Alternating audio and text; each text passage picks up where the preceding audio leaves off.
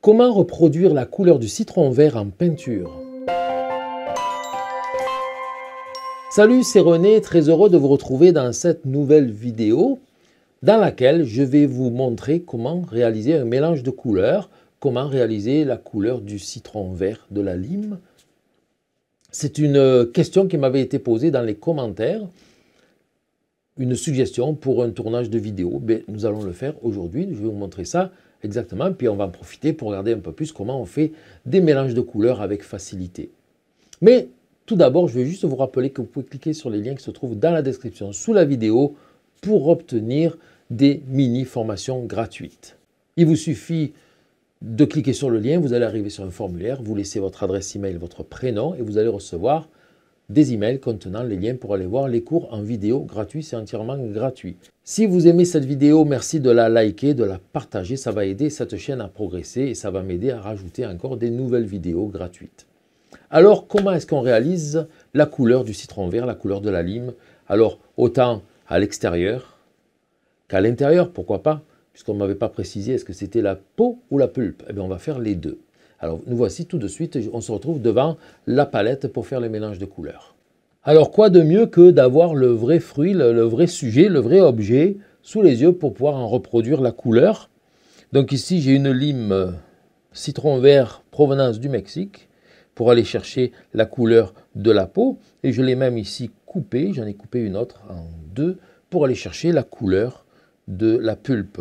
Alors comment est-ce qu'on peut réaliser un mélange de couleurs qui va représenter exactement cette couleur-là? Un peu comme je l'ai déjà montré pour la couleur de peau par exemple, il va falloir bâtir la couleur petit à petit. Et pour euh, préparer cette couleur-là, eh j'ai du blanc de titane, du jaune cadmium moyen, du cramoisi d'alizarine et du bleu phthalo nuance de rouge. Ça aurait pu être du bleu phthalo nuance de vert, ça n'aurait pas été différent. Je vais me baser sur le cercle chromatique. C'est avec lui, je vais me baser sur le cercle chromatique c'est avec lui que je vais pouvoir réaliser la couleur. Non, non, non, je ne vais pas utiliser le, petit carré qui est en bas avec le, mélange de couleurs lorsqu'on tourne ici, qui me dit que par exemple, bon, euh, euh, du vert mélangé à euh, du, du, vert jaune mélangé à du voilà à du noir, du vert jaune mélangé à du noir, ça donnerait cette couleur-là. Ah oui, très bien. Mais comment il est le vert jaune? Où je le trouve ici. Il faut le faire, du vert jaune, yellow green, ça n'existe pas en tube vraiment.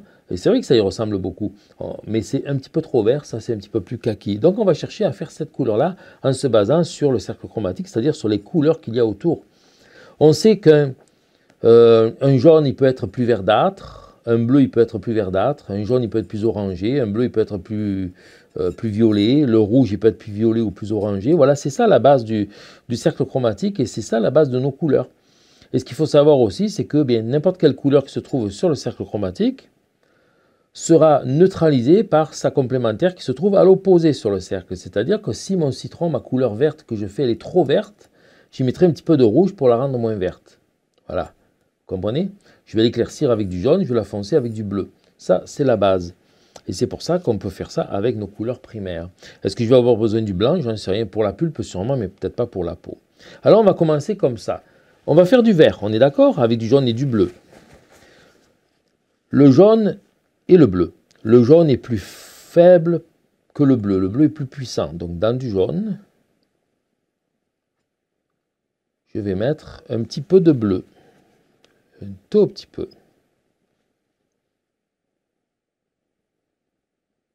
Le jaune devient déjà pas mal vert. Lorsqu'on fait une couleur, qu'on bâtit une couleur, on va toujours de suite la comparer. J'ai une couleur de départ, c'est ça. Je la compare à ma lime. Et là, je me dis, bon, c'est trop pâle, il va falloir que je fonce. Comment on fonce du vert Du vert jaune, on va rajouter un peu de bleu encore.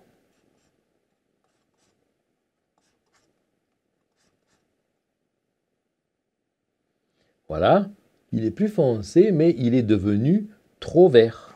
Ah, trop vert. S'il est trop vert, je vais mettre du rouge. Il est à l'opposé sur le cercle chromatique.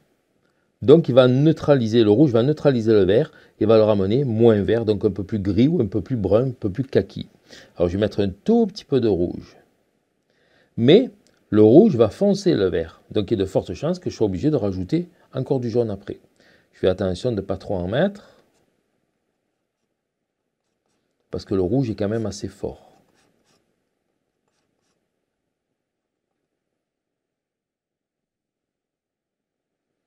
Ça ressemble beaucoup à la couleur. Vous voyez, ce que je suis plus dans l'ombre? Mais lorsque je m'en vais dans la lumière, il est un petit peu trop foncé. Je vais remettre un petit peu de jaune. Alors le jaune n'est pas fort et pas puissant, donc on en remettre plus. Voilà, vous voyez, on a quand même pas mal la couleur là. Alors ça, c'est une, euh,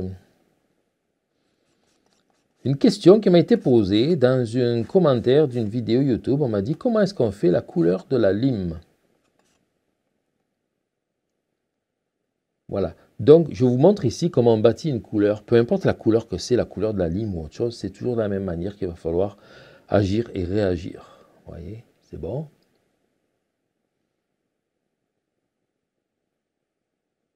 Alors, selon où je place mon, couteau par rapport à, la lumière qui brille aussi, hein, on va le... Voilà, vous. On peut voir à peu près, mais c'est vraiment la même couleur. Maintenant, nous allons faire la couleur de la pulpe. On va chercher celle-là ici. Ça, ça va être plus difficile. Pourquoi? Parce que c'est pas uni. Hein. Je vois un petit peu de texture. Ça brille par endroits.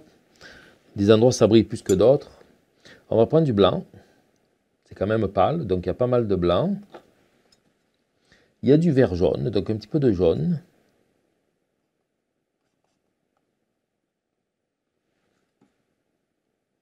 J'ai peut-être trop mis de blanc, je remets beaucoup plus de jaune et il va falloir mettre un petit peu de bleu.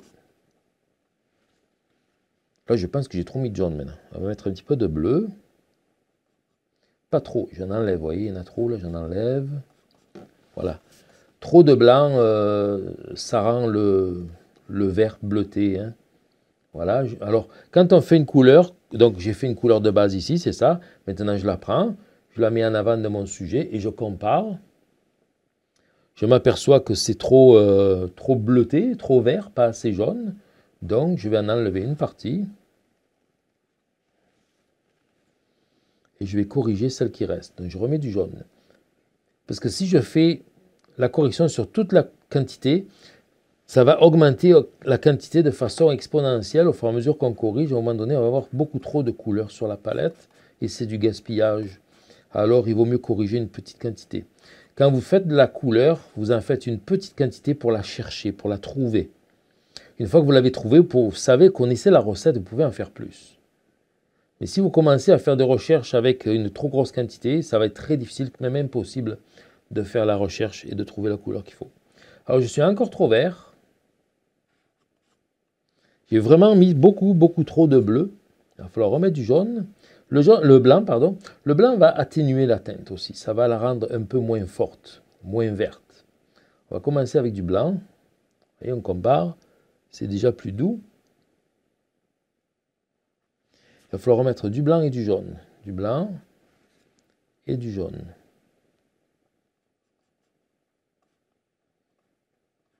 Voyez, je ne prends pas tout le vert que j'ai fait encore là.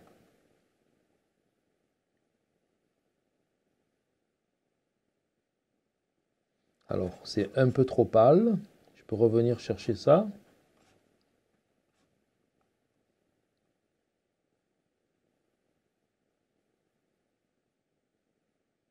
Alors, selon l'éclairage, c'est bon ou c'est trop pâle, vous voyez? Ici, par exemple, ici, c'est vraiment trop pâle. Il faut que je fonce encore. Donc, je vais reprendre un petit peu le vert qui est là. J'en remets. C'est trop vert, donc il faut y mettre un petit peu de rouge un tout petit peu de rouge.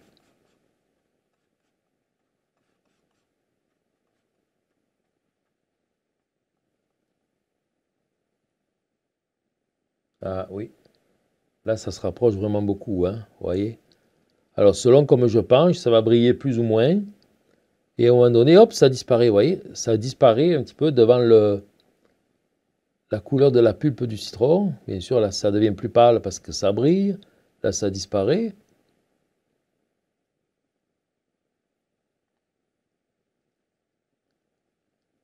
Là, je suis face à un projecteur. Alors, oui, hop, c'est un peu plus près de la couleur de droite ici parce que ici ça brille un peu plus aussi. Alors, évident que c'est pareil, hein, si la lime, je la, je l'incline différemment, voyez, comme euh, la pulpe ici à gauche, elle fonce beaucoup, à droite elle est plus pâle. Donc c'est sûr que ça dépend toujours de l'exposition à la lumière. Mais à la base, voilà, nous avons fait la couleur de la lime dans euh, la couleur de la peau, puis après la couleur de la pulpe, sans avoir pris trop de temps, en utilisant, en réglant notre couleur avec le cercle chromatique. Il n'y a que le blanc qui n'est pas sur le cercle chromatique, mais on le voit, on le sait que lorsqu'il faut pâlir, on va mettre du blanc. Si je dois pâlir mon vert sans aller vers le jaune, je vais rajouter du blanc. Parce que si je pâlis avec du jaune, ça va devenir trop jaune. Donc en mettant du blanc, ça pâlit, mais en même temps, ça défait un peu, ça neutralise un peu la couleur. Le blanc va désaturer la couleur. Ça va diminuer la saturation tout le temps, tout le temps. Donc à un moment donné, j'étais trop vert, j'ai mis du jaune pour l'éclaircir parce qu'il fallait le pâlir. Mais j'ai mis aussi du blanc qui l'a pâli, mais qui l'a aussi rendu moins vert. Mais comme c'était quand même trop vert, il a fallu que je rajoute un petit peu de rouge. Voilà un petit peu la, base de, de, tous les mélanges de couleurs. Lorsqu'on doit en faire, c'est de cette façon-là qu'il faut toujours, toujours agir, toujours réagir à ce qu'on a fait pour obtenir la couleur souhaitée, que ce soit ça ou autre chose. Voilà, c'est aussi simple que ça. Donc, à vos palettes, à vos couteaux, à vos couleurs et essayez vous aussi, pratiquer les mélanges de couleurs. Vous allez voir que vous allez vous améliorer très très très rapidement. Plus on pratique, plus on progresse.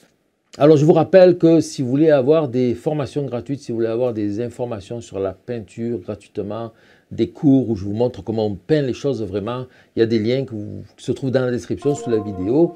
Vous pouvez cliquer dessus, c'est entièrement gratuit. Vous allez pouvoir vous inscrire en ligne pour recevoir ces formations. Si vous avez aimé cette vidéo, n'hésitez pas à la liker, à la partager. Je vous en remercie beaucoup. Je vous remercie aussi beaucoup pour tous les commentaires que vous mettez dans les vidéos, dans les espaces de commentaires sous les vidéos, même les questions que vous posez, les suggestions. Si vous avez des suggestions pour d'autres cours, d'autres vidéos, d'autres tournages, mettez-les dans les commentaires sous la vidéo. Si vous n'êtes pas encore abonné à ma chaîne, n'hésitez pas à le faire, abonnez-vous et n'oubliez pas de cliquer sur la petite cloche pour être avisé lorsque je mets des nouvelles vidéos. Merci beaucoup et à la semaine prochaine. Bye bye